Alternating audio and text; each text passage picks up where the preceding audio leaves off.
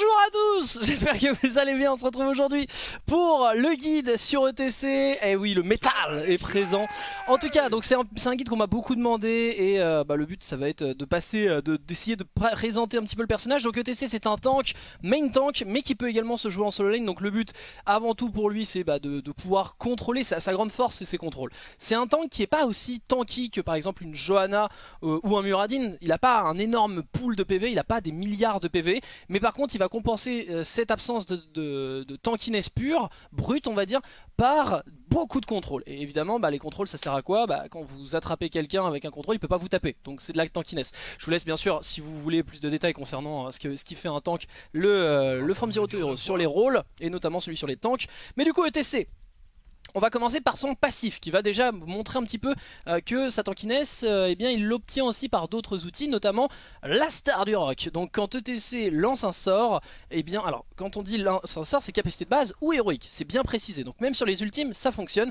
Il gagne 25 points d'armure pendant 2 secondes. Cet effet n'est pas cumulable, il nous le rappelle, mais l'armure ne peut pas se cumuler. Donc si vous faites euh, bah, lancer 2 sorts ou 3, vous n'avez pas, vous, gardez 25 d'armure. C'est juste que ça peut prolonger la durée de l'armure.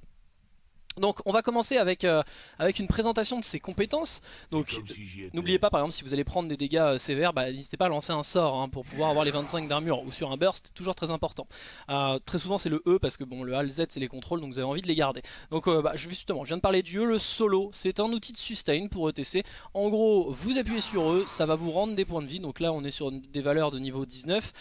donc vous vous rendez 139 points de vie par seconde pendant 4 secondes. C'est pas énorme, hein, c'est pas énorme. Ça coûte 42 mana mais ça permet aussi de faire proc la star du rock et donc en plus d'avoir de la sustain, ça vous, ça vous permet d'avoir de l'armure. Donc toujours intéressant. Maintenant, ce qui fait la force de TC, euh, comme je le disais, c'est un tank qui a beaucoup de contrôle et du coup c'est un tank qui pile excellemment bien puisque c'est un tank qui protège, il va protéger excellemment bien par ses contrôles mais également il peut lancer les engages, il peut lancer les teamfights donc il y a ce double rôle chez ETC, à la fois un très très bon piler, hein, protecteur, et de l'autre côté un initiateur, celui qui va rentrer dedans et essayer de, d'activer, de, rythmer un petit peu la partie. Donc c'est à vous de vous adapter en fonction de la situation. Parce que là j'ai besoin d'un peu plus de pile par rapport à la compo adverse, par exemple du butcher, etc. Bah, peut-être que je pile plus euh, que j'attaque. Alors que si on a une team qui va pouvoir go in comme des porcs, bah là c'est justement ETC peut-être d'y aller. Et il peut être utilisé en second initiateur. Par exemple un butcher charge et avec ETC, vous, une fois que le butcher est là, vous suivez. Ça marche très très bien. Je mettrai une vidéo d'ailleurs là-dessus où c'était un Alarak qui mettait toutes les engages et moi il fallait que je le suive et si je le suivais, bah, ça se passait très bien. En l'occurrence, donc on a la glissade pour ETC, 12 secondes de temps de recharge, 62 coups en mana. ETC est quand même un petit peu manavore. C'est pas non plus insane, mais c'est quand même un petit peu manavore. Euh, donc faut faire attention avec votre utilisation. Donc 12 secondes de temps de recharge, part en glissade vers un endroit ciblé, inflige 192 points de dégâts et étourdit les ennemis touchés pendant 1,25 secondes. Donc qu'est-ce que ça veut dire Vous pouvez mettre un dash et tous ceux qui sont sur la trajectoire sont stun. Attention, comme n'importe quel dash, il peut se faire cancel. C'est-à-dire que si un Raynor est là par exemple, que vous voulez le stun et qu'il a anticipé tout ça, vous pouvez par exemple eh bien, vous faire cancel pendant la trajectoire. Alors attention, la glissade, vous ne pouvez pas faire une mini glissade comme je... Regardez, j'ai mon curseur ici, je voudrais faire une glissade juste là. Non, ça, va jusqu'au bout de la glissade. Donc faut faire attention à ce genre de choses parce que ça peut, être, ça peut vous, mettre dans une situation compliquée. Euh, un autre point avec euh, la glissade, avec ce genre de dash, donc ça marche avec le E de Blaze, ça marche avec tous ces petits dashs. Attention, ces dashs qui sont en trajectoire euh, libre, s'il y a un mur, vous allez perdre, voyez, de la trajectoire. Là, au lieu d'avoir une courbe droite, ça va faire une mini courbe. En fait, vous allez perdre de la portée par rapport au mur. Et là je vais assez loin mine de rien, à cause du mur je vais pas aller aussi loin que prévu. Voyez si l'ennemi est juste là vous vous dites ah bah c'est bon j'ai la portée, vous allez glisser contre le mur et du coup vous allez perdre en portée maximale. Vous allez perdre là-dessus par rapport au conflit du mur. Donc faut faire attention à ça, faut faire vraiment attention à ça. Je vois souvent des Blaze ou des ETC se rater à cause du mur donc vaut mieux parfois attendre une microseconde euh, d'être plus dans la range du mur pour pouvoir réussir la glissade en max portée parce que bah, des fois ça peut rater. Un autre point avec euh, la glissade, très souvent on l'utilise offensivement, par exemple on va sur Arthas là, on va, on va faire ça. N'oubliez pas que ça peut vous servir à vous en sortir, je ferai dans les tips après, mais en fait si par exemple vous arrivez derrière l'ennemi que vous faites ça, la glissade, faut pas oublier que si vous la faites en attaque, comme ça, vous allez vous exposer, même si vous allez stun les mecs, les adversaires vont vous taper. Alors des fois il n'y aura pas de problème, hein. s'il est tout seul le mec ou s'ils sont que deux, il n'y a pas de problème. Si c'est du 4v4, vous allez peut-être tuer le mec que vous avez stun, vous allez peut-être y passer aussi. Donc un truc qui peut être très bon, c'est la glissade défensive. Vous allez stun, ça va mettre le même stun sauf que vous allez vous replacer. Et si vous voulez pas non plus sortir trop du fight, vous avez la glissade latérale qui vous permet de rester quand même dans le team fight tout en mettant le stun.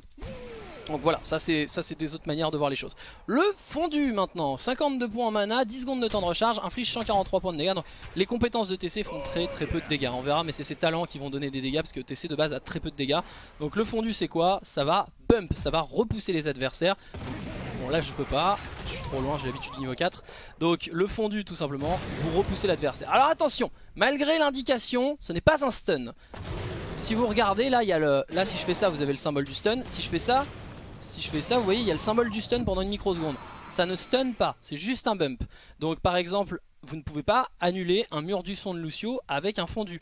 Tout ce qui est canalisation mobile, l'ultime de Lily, euh, par exemple le, E d'Irel, alors quand il est en canalisation, hein, pas quand il est, euh, une fois qu'il est envoyé, si là vous pouvez le cancel. Mais euh, donc une canalisation d'Irel de n'importe quel de ses sorts, Lucio, le mur du son ou par exemple les mille tasses de Lily, eh bien ça va pas annuler, ça va juste repousser. Par contre, quand Irel par exemple est en train de dash, ou un Muradin qui veut sauter, vous mettez le fondu, là ça va l'annuler. La glissade par contre est un stun, donc là ça va annuler toute canalisation. Par contre par exemple bah, un Gul'dan qui mettrait une pluie de destruction ou une pyro de Keltas, vous appuyez sur Z, canalisation immobile, là ça cancel, évidemment. Alors du coup, ça c'est pour le kit de base du perso. On va pouvoir attaquer maintenant, euh, on va pouvoir attaquer les talents. Alors commençons par le niveau 1, ETC. Donc euh, je viendrai un petit peu après avec les combos euh, sur le HAL Z, mais ah, vous pouvez globalement mettre des combos comme vous préférez. Hein. Le, plus connu étant le A, Z, en initiation bien sûr, mais vous pouvez faire l'inverse. C'est-à-dire vous êtes déjà dans le fight, vous faites Z, A. D'ailleurs le ZA est beaucoup plus facile à faire sur euh, des personnages très très mobiles, je pense à Tracer principalement. C'est surtout ce genre de combo, on le voit surtout sur Tracer, parce qu'une Tracer, un ETC fait ça, normalement la Tracer elle est pas censée se faire attraper. Sauf si elle a plus de dash, normalement la Tracer, une bonne Tracer va esquiver en fait. Euh, elle va voir la glissade arriver, va dash, va dash sur le côté et va esquiver. Donc ce qui peut être fait avec ETC, mais il faut être ultra mobile et avoir confiance en ce que vous faites. Si vous êtes au corps à corps avec Tracer, vous faites fond du glissade, instantanément fond du glissade et la Tracer là elle a un très très court laps de temps. Mais vraiment faut, faut, faut tout, faut, tout balancer instant, hein, faut faire ça. Vraiment. Et si vous faites ça vous pouvez assurer votre stun sur, euh, sur Tracer parce que le bump va annuler en fait très rapidement euh, le, moindre réaction. Et ça peut être excellent. Un autre point aussi d'ailleurs, je parlais de, du bump, la force du fondu, c'est que euh, par exemple des garoches ou des malfurions, le malfurion qui veut silence, qui veut mettre un, silence, ou un garoche qui voudrait euh, attraper quelqu'un avec un combo avec EZ. Quelque chose de très important, c'est que, euh, ça c'est une mécanique du bump, c'est qu'en fait, certaines enfin si vous, le faites, si vous avez un excellent timing, parfois, en plus de vouloir repousser le Malfurion et de cancel l'éventuel silence, parfois, c'est pire que ça. C'est-à-dire que euh, Heroes of the Storm sauvegarde le dernier mouvement. Le bump est une véritable interruption totale. C'est comme si l'espace d'un instant, euh, le jeu s'est mis en pause.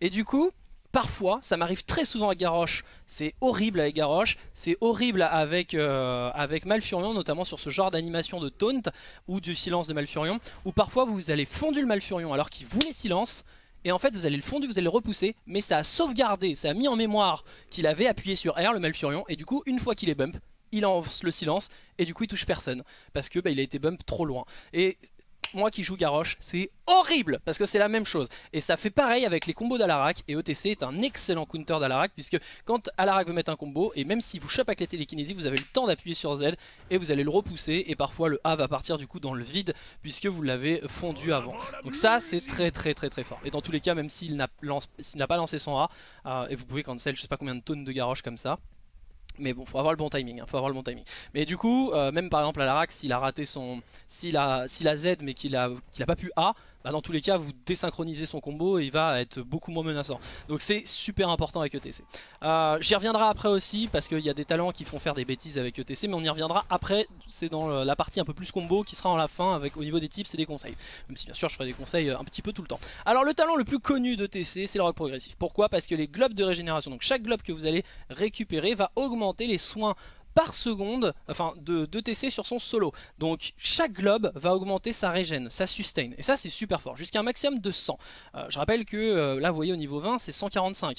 Donc euh, au niveau 20 on n'est pas loin, enfin c'est quasiment du deux fois plus de soins. Hein. donc c'est quand même vraiment pas mal. Hein. au maximum c'est vraiment bon. Mais bon bien sûr c'est sur 4 secondes, hein. c'est pas de la sustain instantanée. Et une fois 20 globes récoltés, le solo rend également aux alliés proches 110 points de vie à chaque seconde, tant que l'effet est actif. Donc c'est de la sustain supplémentaire pour les alliés. Et par exemple quand vous avez un UTR en solo support, bah un ETC qui joue rock progressif, ça fait du bien, parce que bon, l'UTR il peut manquer en sustain permanente, ETC va rapporter un petit peu de soin, donc n'hésitez pas à vous paquer avec vos alliés quand vous êtes en phase de poke ou que vous avez arrêté un petit peu, vous reculer, n'hésitez pas à vous mettre près de vos alliés histoire de remonter tout le monde avec votre E. Autre force, très très bon talent, le block and roll. Euh, utiliser une capacité euh, de base ou héroïque. Octroie également une charge de blocage aux héros alliés proches, ce qui leur confère 75 points d'armure physique contre la prochaine attaque de base d'un héros porté dans les 8 secondes, réduisant ainsi les dégâts qu'elle affiche de 75%. Blocage peut cumuler jusqu'à 2 charges. Donc ce qui est très fort, c'est que là, c'est un blocage pour vous et votre team. Genre contre du Hanzo, du Thrall, du Raynor, vous appuyez sur un de vos sorts, vous gagnez 75 d'armure physique. Parce que je rappelle, les 25 c'est de l'armure générique, donc c'est 25 de dégâts en moins sur les auto-attaques, mais également les sorts.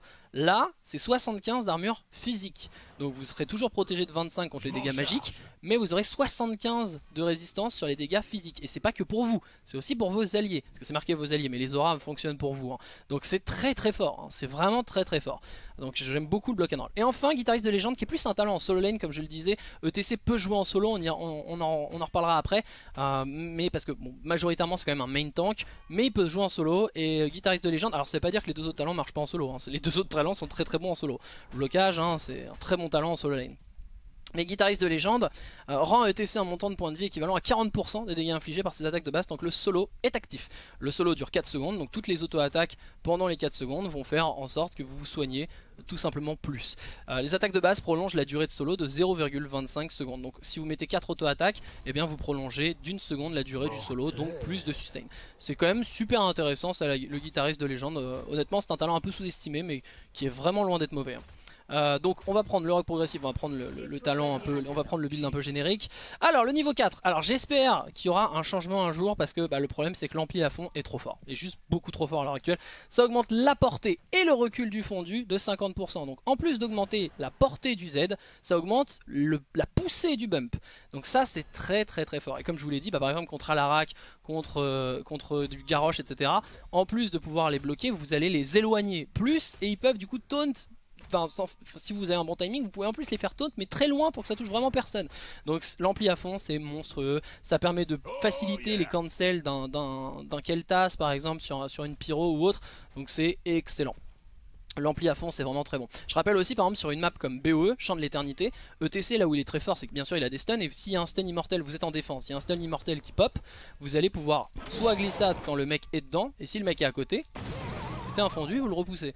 Sauf que avec l'ampli à fond, bah vous le repoussez beaucoup plus loin en fait. Donc vous pouvez vraiment surprendre quelqu'un en le mettant dans un stun boss. Vous le mettez dans un stun boss, vous faites fondu stun boss, glissade une fois que le stun boss est terminé, le mec il prend, euh, il prend euh, un CC monstrueux quoi, et sans compter les dégâts, parce que le stun boss fait très très mal.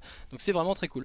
À côté de ça, on a euh, le démont, enfin on a le double, la double pédale, double pédale qui est moins générique, enfin qui est plus situationnel mais moins situationnel que le démontage.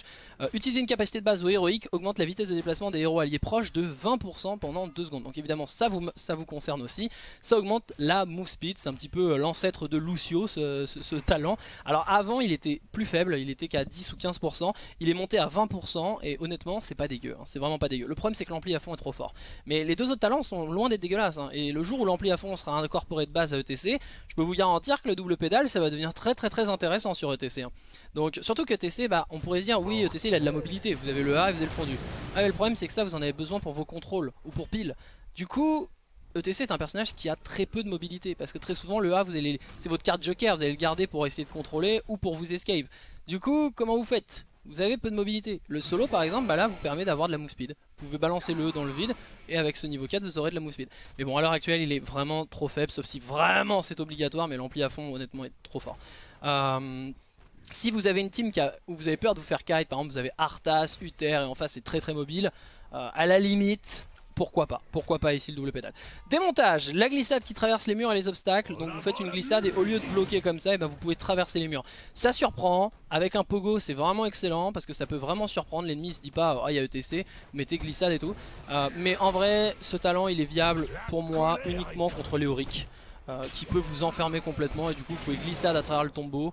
Mais sinon le démontage à l'heure actuelle c'est pareil, c'est super intéressant mais l'ampli à fond est trop fort.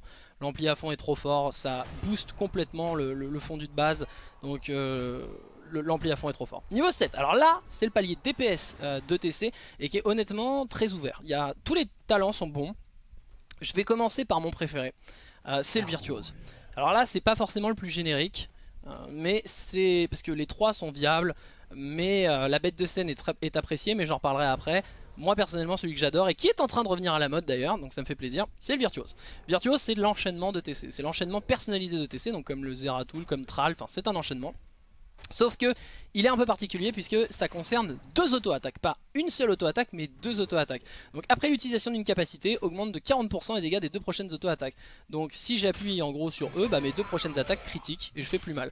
Sachant que vous pouvez potentiellement faire un E, un A, vous allez mettre deux autos, et un fondu, et vous avez deux nouvelles autos qui font mal. Après un slam ou après un pogo, ça marche aussi. Donc c'est très intéressant pour l'augmentation des dégâts. Hein. C'est vraiment très très cool à ce niveau-là. Pour faciliter votre kill sur quelqu'un, moi j'adore le virtuose et en solo queue c'est très fort. Et même en pro ça commence à devenir, euh, ça commence à être joué parce que c'est vrai que ça peut éviter des problèmes avec la bête de scène. Pourquoi? Alors je vais la prendre pour vous montrer. Le fondu inflige 300% de dégâts en plus aux ennemis récemment affectés par glissade. Alors, il y a deux problèmes avec ce talent, parce que sur le papier c'est très très fort. Hein. Vous faites glissade, fondu, bam Vous avez mis un 600 au mec, donc le burst est monstrueux. Le problème de ce talent, c'est que c'est anti-synergique. C'est-à-dire, comme je vous l'ai dit, ETC c'est pas que de la glissade fondue. Ça ne marche pas comme ça. Sachant que votre fondu, vous avez euh, peu de temps avant de pouvoir... Euh, en fait, dès que le stun est terminé, la fondue, le fondu fait quasiment plus de. Enfin, vous avez très peu de temps. Vous avez très peu de temps. Je crois que c'est 1,5 secondes pour que le fondu fonctionne. Donc il y a quand même moyen d'un petit peu temporiser, malgré tout. Mais si vous temporisez trop, si vous là ça, passe, mais si vous temporisez trop, normalement, le fondu, voilà, si je temporise un peu de trop, le fondu fonctionne pas. Donc pourquoi c'est anti-synergique? La bête de scène, bah des fois en fait c'est bête, mais vous allez faire fondu d'abord et glissade après, comme je vous l'ai dit. Alors je vous l'ai dit contre Tracer, mais sur BOE ou même dans des games normales, euh, là ça attaque un peu, c'est un petit peu trop agressif, boum, on fondu d'abord. Et là il y a une opportunité, hop, on va glissade pour essayer d'attraper un mec, et bah là j'ai plus le fondu, parce que bah il a 10 secondes CD, j'ai plus le fondu. Donc comment on fait? Comment on fait? Eh bien, ça c'est un problème, déjà ça c'est un problème, parce que ça vous force à toujours AZ, comme un, comme un idiot, comme un retard, alors que TC c'est que de l'adaptation. Heroes c'est beaucoup d'adaptation, mais ETC encore plus. Vous devez vous adapter à chaque teamfight, il n'y a pas de où là vous faites AZ, machin, ça dépend, des fois il faudra faire AZ, des fois il faudra faire ZA, des fois il n'y aura pas de combo à faire, c'est Z et, de temps, et ensuite mettre un A, ou A et vous ne mettez pas de fondu. Pourquoi? Parfois on va mettre un A et pas mettre de fondu. Alors ça c'est un autre truc. Pourquoi on va pas mettre de fondu? Parce que le principe du fondu aussi c'est de repousser de repousser vos assaillants, les ennemis là, et d'isoler quelqu'un. Un petit peu à l'image euh, d'une prison du vide ou un cocon, vous essayez d'isoler quelqu'un par rapport à sa team. Là, vous avez repoussé les trois autres, tandis que vous avez, euh, vous avez rapproché, si votre équipe est là, vous avez rapproché un ennemi de votre équipe. Du coup, pourquoi c'est pas bien de faire AZ tout le temps? Les rotations de contrôle, les chaînes de CC. C'est-à-dire que vous avez un Keltas avec vous. Un Keltas, de préférence, il doit attendre la glissade de TC un Keltas ou une Liming d'ailleurs, une Liming, n'importe quel, mage va profiter d'un contrôle pour pouvoir lancer ses sorts. Donc si avec ETC vous faites une glissade, la Liming lance orbe missile et vous appuyez sur fondu, c'est le meilleur moyen. C'est le meilleur moyen de, cancel, de, de, faire rater les combos de vos alliés. Donc, et par exemple, bah, un autre contrôle, un Malfurion qui va mettre en route, vous appuyez sur fondu là, lui il a programmé son route ici, ou une, un stun Tyrande, elle l'a programmé ici. Du coup vous l'avez éloigné, pas de stun. Donc ça, c'est problématique. Ça c'est un, un énorme problème. C'est pour ça qu'il faut faire très attention et malheureusement la bête de scène fait mal jouer je dirais les joueurs de TC, c'est très souvent... Alors si vous le faites avec parcimonie, bien, mais le problème c'est que ça vous force un certain comportement qui peut faire ruine, et ça ça fait-il vos alliés. Hein. Vous êtes tasse votre TC fait glissade fondue instant, euh, vous pétez un plomb. Hein. Il y a un moment donné vous pétez un plomb. Alors faut s'adapter, hein. vous voyez qu'il fait tout le temps AZ, bon bah vous lancez vos CD après, donc plus de chances de rater, mais c'est pour ça que moi j'ai du mal avec la bête de scène. Parce que, et pareil, en solo lane, la bête de scène est très appréciée. Pourquoi? Parce que ça permet de faire ça. Dépêche très vite une vague. Le problème de faire ça, c'est quoi? Parce qu'on pourrait dire, ah bah oui, ça clean vite, euh, c'est vachement bien. Le problème de faire ça, c'est quoi? Vous êtes en solo lane. et même en tank, hein, d'ailleurs en main tank. Là, vous dites, bon, faut que je clear vite, on va faire ça, ça. Je suis au milieu de la lane là. J'ai plus d'escape. Donc attendez, je vais virer le temps de recharge. Donc là, je fais ça. Ok, j'ai mis un bon poke. Et j'ai push. Bah là, par exemple, Arthas. Si le Arthas est bon, il appuie sur eux, je suis mort, j'ai plus de glissade. Et là, il y a un mec qui arrive, je me fais free gank, je suis mort. Le principe de TC en solo lane, c'est que c'est pas terrible pour push, c'est un push très très lent, mais le principe de TC en solo lane, c'est que ça, une grosse sustain, et c'est quand même compliqué à tomber parce que quelqu'un vous gank, depuis sur fondu, vous faites glissade out, aucune menace. C'est trop dur à tanker, c'est trop dur à tomber. Donc si vous faites glissade Z pour gank, enfin pour euh, des push, vous êtes une cible très fragile pour gank. Donc vous vous exposez énormément. Et imaginons vous êtes en main tank, vous faites ça très rapidement pour des push. Bah là il y a une intervention, il y a un de vos alliés qui se fait attaquer, vous avez plus rien pour l'aider. Donc c'est un énorme problème. Ensuite on a ensuite on a la pédale déco. Alors pédale déco c'est une espèce de rage ardente personnalisée de TC. C'est à dire qu'à chaque fois que vous lancez un sort vous allez faire des petits dégâts, vous voyez des petits tics de dégâts, vous avez une espèce d'aura qui, qui continue. Et le principe bah, c'est que vous allez tout simplement faire des petits dégâts magiques en permanence autour de vous. Donc ça, ça, ça le pédale déco généralement pour essayer d'avoir du dépush avec ETC c'est souvent pris puisque vous avez juste à E et vous pouvez garder votre glissade du coup. Et c'est des petits dégâts permanents. Et d'ailleurs c'est le seul sort qui fonctionne sur le pogo. Et oui c'est le seul sort de DPS qui fonctionne sur un pogo. Euh, Donc c'est pas grand chose mais ça fait des petits dégâts. Le, principe de la pédale déco c'est un petit peu l'entre-deux. C'est du dépush sans trop vous exposer. C'est un petit peu de dégâts de zone autour de vous. Vous n'avez pas besoin d'auto-attaque comme Virtuos pour pouvoir faire des dégâts. Donc c'est un petit entre-deux et la pédale, la pédale déco est loin d'être ridicule hein. En solo lane elle est souvent euh, appréciée et souvent elle annonce un slam Puisque on va attaquer les ultimes deux excellents ultimes sur ETC. Je sais que le Pogo est probablement l'un des meilleurs ultimes du jeu, bah, le Slam est tout autant. Hein. ETC euh, e a depuis très très longtemps, ETC est un personnage qui est très très flexible en termes de talent, tout est viable sur ETC. Et en l'occurrence, donc vous avez le Pogo, présentation du Pogo, vous mettez 0,75 secondes de canalisation, et ensuite, quand vous faites ça, donc je vais mettre le temps de recharge, quand vous faites ça, l'ennemi danse pendant tout simplement, alors c'est 4 secondes pendant 4 secondes, l'ennemi est étourdi. Donc l'ennemi ne peut pas attaquer pendant 4 secondes. Tous ceux qui se trouvent dans la zone sont stun pendant 4 secondes. C'est tout simplement le plus grand stun du jeu, 4 secondes. C'est juste énorme. Hein. C'est juste énorme. Le problème c'est que vous pendant ce temps vous faites rien donc vous êtes exposé. Si un Raynor vous tabasse la gueule, bah, vous êtes mort. Euh, donc ça peut être dangereux. Et surtout quand il y a un pogo, ça force l'ennemi à avoir des contrôles pour le cancel. Là par exemple Arthas n'a rien pour le cancel, donc même si je pogo à côté par exemple ses mates, Arthas est pas dedans, bah, il peut pas m'empêcher de, pogo en fait. Et les ennemis peuvent rentrer dedans aussi. Les supports très souvent vont rentrer dans les, pogos parce qu'ils veulent aider leurs potes. Et par exemple bah, les purifications vont fonctionner sur les pogos. Euh, les cancels, par exemple un bump, par exemple un autre, si jamais vous affrontez un ETC en jouant ETC, c'est pas possible sauf en QM. Bah par exemple vous êtes en train de pogo, il y a le ETC, l'autre ETC euh, il va faire fondu. Ça sert aussi à ça d'avoir la range supplémentaire. Boum Il vous cancel votre pogo puisque c'est une canalisation immobile. Donc le moindre cessez de déplacement bien vous cancel votre pogo. Vous pouvez annuler votre pogo. Si ça commence à chauffer un peu pour votre matricule, vous pouvez annuler votre pogo. Hop hop hop on s'en va. Vous vous êtes raté, vous vous êtes dit là ça va marcher. Ah merde Arta c'est parti vers le haut. Hop on annule, on repart. Comme ça vous vous exposez moins.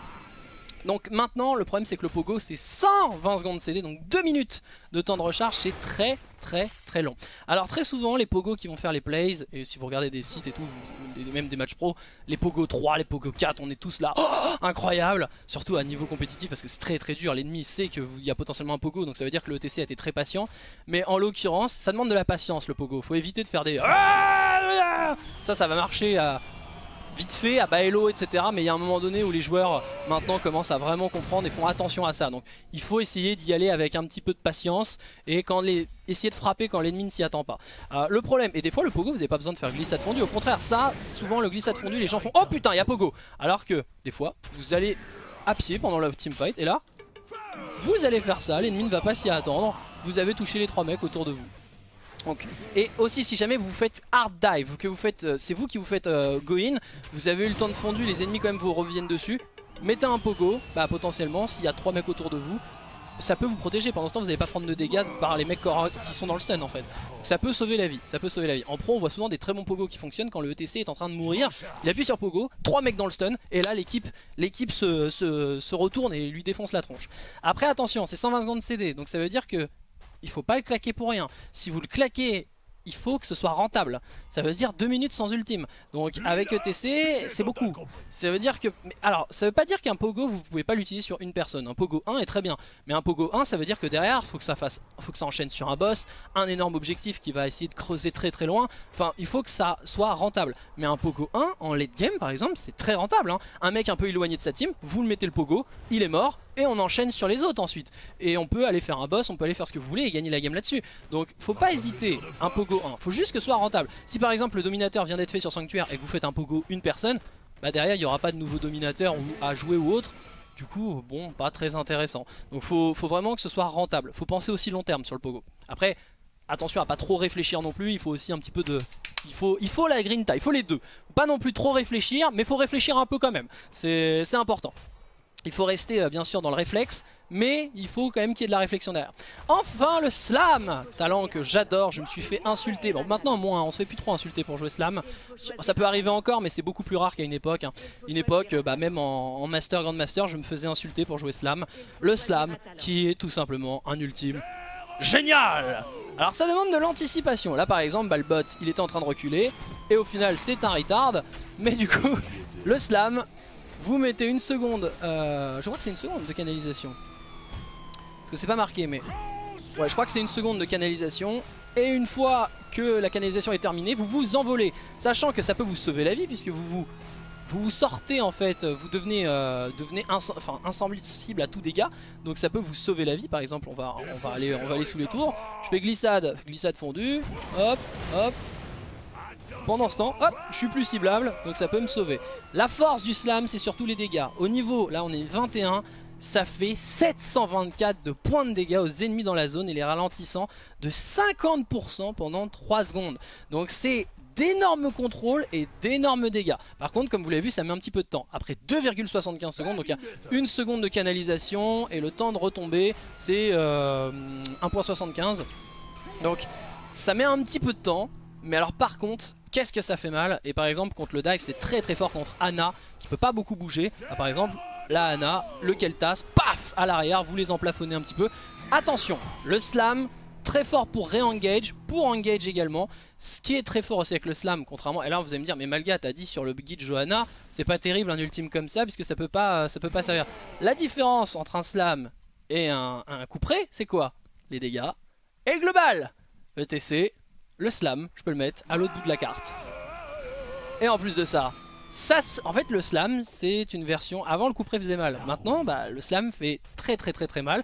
Il offre un énorme slow de 50% pendant 3 secondes et c'est global. Et surtout seulement 75 secondes de temps de recharge. Et encore avant c'était même un peu plus court. Mais 75 secondes de temps de recharge. Donc ça va très vite, ça revient beaucoup plus vite qu'un pogo, vous en aurez beaucoup plus souvent. Et euh, pour euh, en, solo queue par exemple bah, ça vous donne des dégâts supplémentaires. Et par exemple bah, ça peut vous faire carry. Tout ce qui est global plus d'impact. Là mon top, mon top laner se fait gang par deux mecs j'arrive et j'inverse complètement la situation, je prends un kill et hop on peut repartir. C'est très très fort le slam là-dessus. Euh, et euh, le slam, l'autre point, donc comme je le disais, c'était aussi la possibilité d'engage, re-engage. Vous avez commencé avec la glissade fondue, oh là là ça se passe pas très bien, vous reculez, vous allez chercher une fontaine et hop on est de retour Et ça zone énormément. Attention quand même le slam, c'est un petit peu comme un vol de Falstad, c'est indiqué. Vous voyez en énorme, en grand, une cible qui vous dit attention, le mec est là. Euh, donc ça veut dire que par exemple un Malfurion va mettre un route, vous pouvez potentiellement prendre une grosse rotation de CC en suivi, donc faut faire gaffe et faut anticiper la trajectoire. C'est ça la difficulté du slam, il faut anticiper la trajectoire. Niveau 13, alors c'est euh, le talent utilitaire sur le fondu qui renforce le fondu. Euh, donc vous avez le premier talent le plus connu, c'est le test micro. Si le fondu touche au moins deux cibles, son temps de recharge est réduit de 6 secondes. Donc c'est plutôt pas mal, sachant que ça fonctionne sur tout. Ça fonctionne sur les sbires, ça fonctionne sur les héros, ça fonctionne sur tout. Donc c'est plutôt pas mal. Ça peut aider, on va dire, à la rentabilisation de la bête de scène qui peut vous éviter d'avoir des problèmes de, faire un A mais vous n'avez pas pu Z et du coup bah ou vous avez fait un Z et ensuite vous avez fait un A mais du coup vous avez plus de Z pour faire proc la bête de scène. Donc ça peut aider un petit peu mais euh, le test micro pour moi si je le prends par exemple c'est surtout pour si je dois cancel. Par exemple, vous êtes contre un Garrosh, vous êtes contre un Alarak, comme les cas que j'ai évoqués avant, bah, vous allez pouvoir, euh, s'il y a beaucoup d'agression sur vous et que vous avez besoin de tout le temps de fondu pour pouvoir pile, eh bien ça peut vous permettre de vraiment bloquer les assassins adverses, de bien plus bloquer euh, l'adversaire. Donc ça c'est très intéressant. Euh, moi je le joue vraiment spécialement contre Garrosh et Alarak, mais il est très très joué test micro. L'autre point c'est les passes de folie. Le fondu qui ralentit les ennemis de 50%. Les gens se rendent pas compte, hein, mais c'est un slow de 50%. C'est énorme. Je rappelle que vitesse de monture, c'est 30%. Donc c'est quasiment deux fois la vitesse d'une monture, mais en version slow, donc en version négative. Et le truc, c'est que les effets se dissipent en 2 secondes. Donc ça commence à 50%, puis ça, c'est dégressif. Ça réduit à petit à petit. Mais dans tous les cas, c'est énorme comme slow. C'est vraiment énorme. Regardez Arthas, je fais ça, je fais ça. Et il est bon, il bouge pas, mais si, bon, là il bouge un petit peu. Et il est slow. Donc c'est très intéressant. Moi personnellement, c'est mon talent préféré, euh, les bases de folie, notamment en solo queue. Ça peut vous permettre bah, de. En fait, des fois, même quand vous devez poursuivre un mec, bah, vous mettez le fondu, le gars est slow. Donc vous pouvez plus facilement toucher avec une glissade le temps que vous ayez votre glissade. Parce que sinon, si vous faites un fondu alors que l'ennemi est en train de vous fuir, bah c'est juste de la merde, vous l'avez poussé, c'est encore, enfin c'est de la merde. Là bah ça peut permettre au fondu d'avoir beaucoup plus d'utilité. Et l'autre point, c'est que fusionner avec le 4, vous éloignez un mec, par exemple un corps à corps, vous voyez Arthas, je l'ai éloigné, en plus il est ralenti, comment il fait pour m'atteindre? Donc en plus de l'éloigner, ça sera plus dur pour lui de revenir vous toucher. Donc vous rentrez, en fait pendant les 2 secondes en moins, vous voyez les 2 secondes en moins par exemple de l'autre, en l'occurrence c'est 6 secondes, bah c'est bête mais le fait qu'il y ait un slow sur un corps à corps, bah le mec ça va lui gaspiller soit, des, soit des, la vitesse de déplacement. En fait pendant 2 secondes minimum vous allez eh bien temporiser vos CD. Donc vous avez les points forts, vous avez la moitié des points forts du test micro, puisque vous temporisez vos CD tout en ayant un énorme slow. Donc plus de facilité pour vos alliés de mettre des dégâts. Donc moi ça je trouve ça génial, hein, personnellement les bases de folie. Mais le test micro est excellent. Et enfin il y a le rappel. Le fondu laisse un ampli, donc vous appuyez sur le fondu, ça laisse un ampli qui deux secondes après balance un nouveau fondu. Le problème, le problème de ce talent, c'est que c'est complètement RNG. Alors vous pouvez quand même faire des trucs bien, mais c'est assez RNG puisque en fait vous avez fait fondu à un moment pour une raison précise. Or, deux secondes après, le teamfight il a probablement changé complètement de, délire. J'ai vu des ETC Pogo se cancel leur propre Pogo avec ce, ce 13. C'est-à-dire que le mec avait fait un fondu et là ils viennent le chercher ils mettent un pogo, sauf qu'il y a l'ampli qui repart et qui sort les mecs du pogo. J'ai déjà vu ça en compétitif. Et là t'es en mode oh non c'est terrible. Et c'est pour ça que le rappel je trouve ça de moins en moins bien parce que bah, le problème c'est que euh, c'est... Il faudrait que, limite que le deuxième fasse plus de dégâts ou un truc parce que le problème c'est que le second fondu bah souvent il casse des situations euh, intéressantes pour vous. Et ça c'est un problème. Niveau 16, niveau 16 c'est le talent, on va dire que c'est le palier survie de TC, alors c'est un palier très faible hein, pour un niveau 16, euh, vous avez tout d'abord euh, la glissade qui confère 35 points d'armure, donc au lieu de 25 ça confère 35 points d'armure pendant 4 secondes. Ce talent a été un petit peu nerf par le rework de l'armure, puisque bah, vous gagnez que 10 d'armure alors qu'avant vous gagniez 20 d'armure je crois, puisque avant c'était 20 et vous montiez à 35, non c'est ça, vous gagnez 15 d'armure, maintenant vous en gagnez 10, donc c'est un, petit, un petit peu moins fort. Donc pourquoi vous jouez ça? C'est tout simplement si vous faites des glissades offensives vous êtes un initiateur et vous en prenez plein la gueule, bah 10 d'armure en plus, on crache pas dessus. C'est toujours très intéressant. Sinon, vous avez la présence intimidante contre des tracers, contre des Raynor, etc. C'est très très fort. Pourquoi? Parce que l'ennemi en vous tapant il réduit de 50% sa vitesse d'attaque et de 20% la vitesse de déplacement des héros et unités invoquées proches pendant 2,5 secondes. Ça c'est activable. Mais en effet passif, ça réduit également de 20% la vitesse d'attaque des héros et unité invoquée qui inflige, des dégâts à votre héros pendant 2,5 secondes. Donc un Raynor ou une Tracer qui vous tape, dans tous les cas, il verra sa vitesse d'attaque réduite. Et si vous l'activez, c'est encore plus efficace et ça rajoute un slow supplémentaire à votre kit. Donc personnellement, la présence intimidante, je la joue de plus en plus avec le petit changement sur le rideau. Rideau, c'est vraiment quand vous en prenez plein la gueule. Présence intimidante contre beaucoup d'auto-attaqueurs et même en permanence, c'est des CC. En fait, c'est toujours des dégâts en moins sur vous. Et en plus de ça, ça synergise avec votre armure, l'ennemi tape moins vite et en plus tape moins fort parce que bah, vous avez votre armure. Et le dernier point, bah, vous avez un activable qui va slow l'adversaire quand vous avez plus de contrôle. C'est toujours très intéressant. Et qui euh, peut potentiellement un peu bloquer les dégâts de vos adversaires sur vos alliés. Parce que l'activable, ça, l'effet passif, c'est que si on vous attaque vous, Tracer avec le ricochet, bah, va forcément vous toucher un petit peu, donc ça marche. Mais en l'occurrence, pour les, les et autres, bah, vous pouvez l'activer à côté de lui et vous allez réduire ses dégâts. Donc c'est très très fort. Euh, et enfin, jeu de scène agressif. Quand vous n'avez pas forcément besoin de lui blocage et que vous en prenez pas trop trop cher, jeu de scène agressif c'est le meilleur talent. Pourquoi? Parce que les attaques de base réduisent le temps de recharge de solo de 0,75 secondes. Donc plus de sustain pour vous, plus d'armure. Et moi par exemple avec le 7, bah, plus de virtuose tout simplement. Donc c'est très intéressant là-dessus. D'ailleurs le virtuose, un petit point qui est cool, c'est que ça marche en PvE. C'est le seul talent qui marche vraiment en PvE. Parce sur un boss, bah, la bête de scène, pas fou pédale d'écho sur un boss pas fou. Sur un immortel, bah, vous allez vouloir garder vos spells. Donc virtuose, bah, c'est le meilleur dans ces cas-là.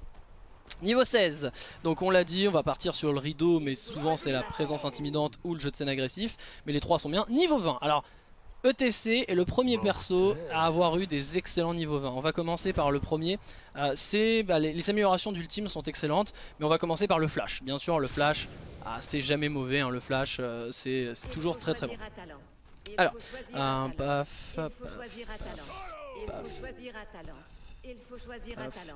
Alors, le pogo amélioré, qu'est-ce que c'est? Pogo met fin au temps de recharge, donc c'est 60 secondes CD, hein, le, 70 pardon, l'éclair du Nexus.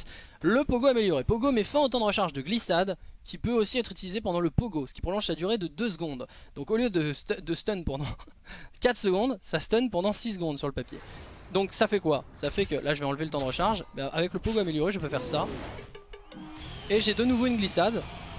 Et là vous voyez j'ai le pogo, j'ai le pogo. Hop Je peux continuer le pogo mais le truc très fort, c'est surtout que vous pouvez par exemple pogo dans le fourré, hop, et vous allez glisser de la backline. Donc avant que l'ennemi vous cancel en fait, bon là j'ai des fins de temps de recharge donc je peux glisser en permanence, hein, c'est pas possible sinon.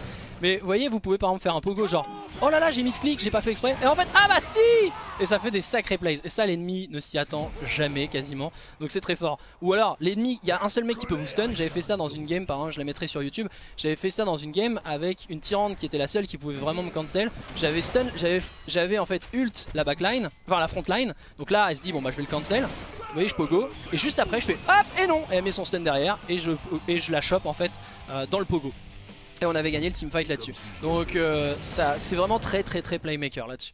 Euh, enfin les autres niveaux. Donc le slam amélioré. Le slam amélioré, la spéciale dédicace, ça augmente la zone d'impact du slam de 50% et ça réduit son temps de recharge de 10 secondes par héros adverse touché. Le principe c'est quoi? Si au 20 vous ratez vos slams, c'est pas possible. Parce que vous allez vraiment toucher toute l'équipe ennemie et plus vous touchez de monde, plus vous avez de CD en moins. Donc 10 secondes par mec touché, au lieu d'avoir 75 de temps de recharge, bah vous allez descendre potentiellement à 30, 20 secondes euh, si vous y prenez bien. Et il fut un temps, ce talent était nerf malheureusement, il fut un temps, si vous touchiez 5 mecs, eh bien c'était 15 secondes par ennemi touché, donc vous pouviez potentiellement, eh bien tout simplement avoir aucune, aucun temps de recharge sur le slam. C'était la bonne époque, mon record c'était 3. 3 slams dans un même teamfight. Et c'était plutôt fort, je peux vous garantir que c'est plutôt fort. Parce que quand au niveau 20 vous mettez 724 de dégâts de zone, si vous mettez 3 slams, à la fin il n'y a plus personne, hein. ils sont tous morts. Donc euh, c'était très fort. Euh, enfin les deux autres 20 qui sont excellents, vous avez le bloc de... Alors hop, on va prendre le pogo amélioré. Vous avez le bouclier du Nexus. Bouclier du Nexus, si votre équipe a besoin d'un peu plus de piles, un bouclier du Nexus c'est toujours de la tankiness supplémentaire, ça marche avec vous bien entendu. Et il y a un autre point, je vais même changer, je vais même changer, hop, je vais prendre le slam pour vous montrer un petit truc euh, rigolo. C'est le death metal. Quand ETC meurt, son fantôme déclenche un pogo à l'endroit de sa mort. Et ça, ça surprend. Ça surprend toujours. C'est pour ça que contre un ETC, il faut regarder son niveau 20. Parce que s'il a Death Metal, faut y penser, faut faire attention. Et le truc, c'est quoi? Bah, Par exemple, j'ai le slam. Donc sur le papier, j'ai un slam. J'ai habitué mon équipe ennemie à avoir un slam. Donc les mecs se disent, bon, il a slam, plus de peur du pogo. Or, quand je vais mourir, quand je vais mourir. Donc ça, ça induit que vous allez vous en prenez plein la gueule. Hein. Hop, je meurs. Pouf Il y a le death metal le pogo continue pendant ce temps, le, pogo est fait. Et ça, l'ennemi, quand vous jouez slam, le mec s'y attend pas. Mais même en pogo, ça veut dire que vous pouvez potentiellement mettre euh, bah, deux teamfights avec un pogo de fou, quoi. Des, des pogos de dingue. Donc ça surprend, ça surprend pas mal. Donc c'est vraiment à vous de vous adapter. Euh, si vous en prenez plein la gueule et que vous mourrez beaucoup, pensez au death metal.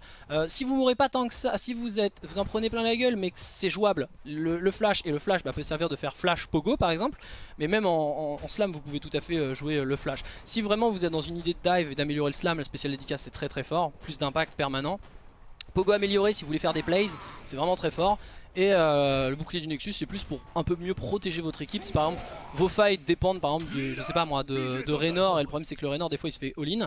Bah, Vous mettez bouclier du Nexus, vous avez moyen de peut-être encore plus le protéger Pendant en temporisant vos, AZ hein, tout simplement. C'est vraiment pile, pile pile à fond le, bouclier du Nexus. Donc voilà j'espère que cette vidéo sur ETC vous aura plu. Il y a pas mal de vidéos, c'est un personnage que j'adore. Donc il y a beaucoup de vidéos de gameplay sur ETC disponibles sur la chaîne.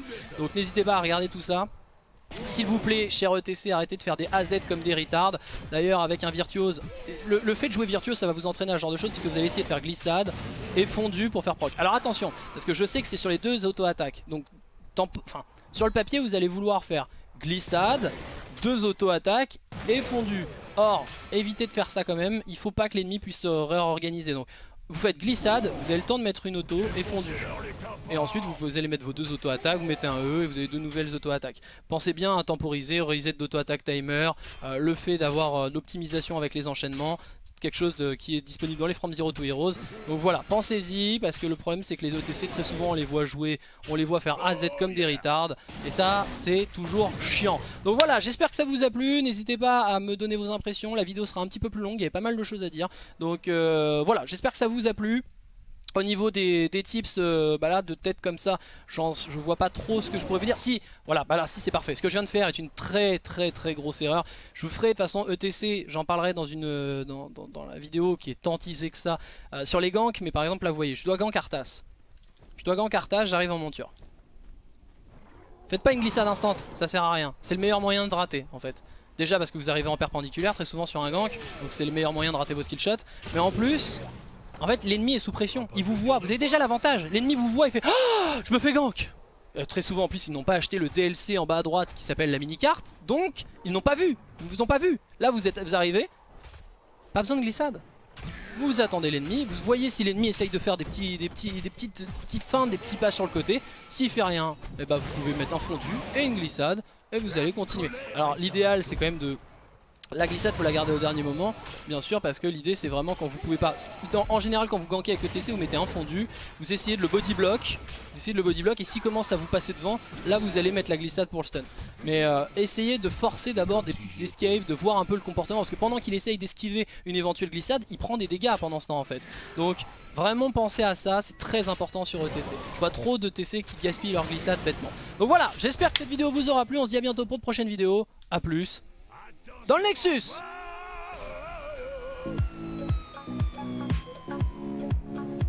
N'hésitez pas à vous abonner à la chaîne YouTube, le like, le petit follow Twitter. Merci à vous. Suivez les réseaux sociaux, ça soutient Maljané. Et n'oubliez pas de commenter, liker, ça augmente la visibilité de la chaîne. Et vous pouvez en parler autour de vous de la chaîne YouTube, hein. ça fait jamais de mal. Merci à vous. Allez, je vais j'ai brouté du foin. C'était très mal fait ça, on aurait dit un dauphin.